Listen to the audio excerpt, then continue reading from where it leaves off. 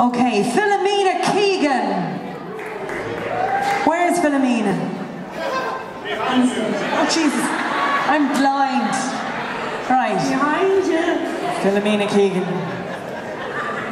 Now, you tell them all about yourself. Well, I was just saying to my mother the other day, yes, my mother is still alive, 87. She would have been here, but she's gone over to London for her wedding.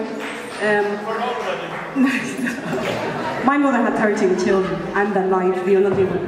Um, my gran used to live in the Iveagh Trust down in Patrick Street. Um, I don't, you, you lot look too young to remember her. She would have been 110 if she was alive today, but her name was Ada Hamilton. And as kids, we used to come down to my grand's at the weekend, and of course, you'd hear the bells on Sunday, on Sunday morning and everything else. So sometimes my sisters ring and they say, put the phone out on the balcony so they can hear the bells because it reminds them of my grand. So, as I said, it's strange how life works out. I never thought that I'd be living in the Iveagh Trust, and secondly, never thought that, you know, a lot of years later, that I'd be here singing for you tonight. So, um, the first song is uh, the two original songs. The first one is a song written by a very good friend of mine, James Connolly. Very strong name to have to live up to. But like every song, it has a story. And the story of the song is that he himself and his brothers and sisters, whatever, went in to see his dad in the hospital. And his father was doing the typical Irish man, go home you lot, you know I'm grand, it's not about me, and off they went. But James forgot his umbrella, and he walked back, and when he walked back in, his dad was sitting by the window, and the song will tell you the rest of the story. Big round of applause.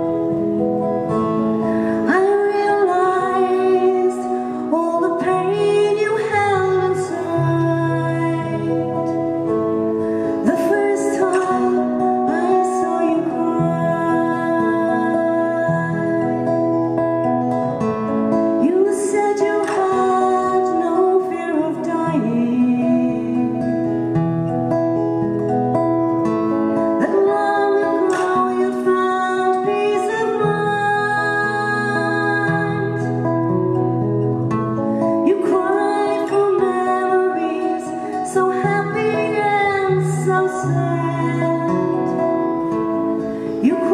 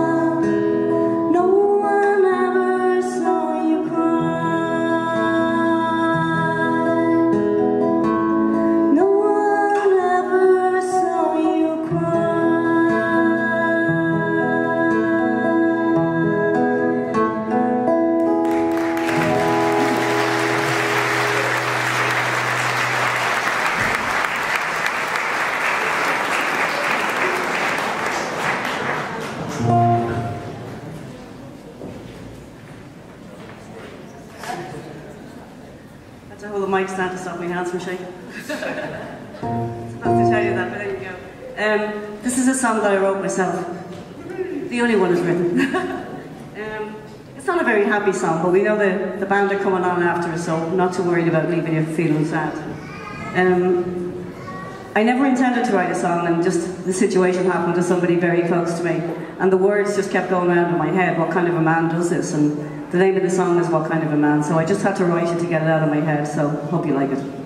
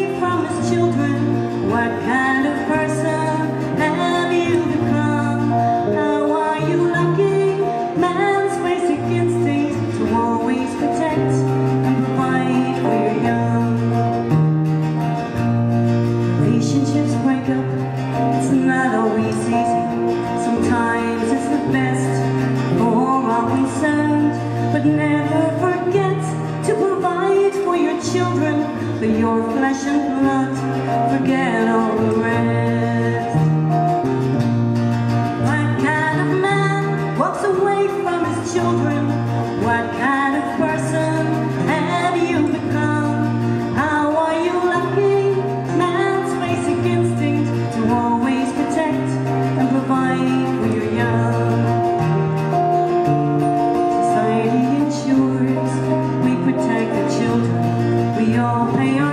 places so no child would starve. School books and shoes, food on the table, but can we erase the pain in their hearts?